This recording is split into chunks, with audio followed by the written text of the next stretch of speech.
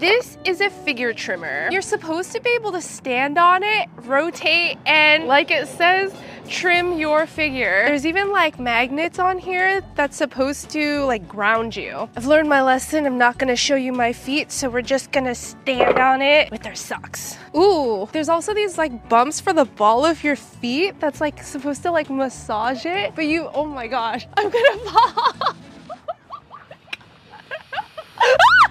It's really hard to balance. This is so hard because I just keep wanting to like go in circle. Oh my Let me show you how it's done. Oh my god. Oh, it is spinning that way. Ha ha!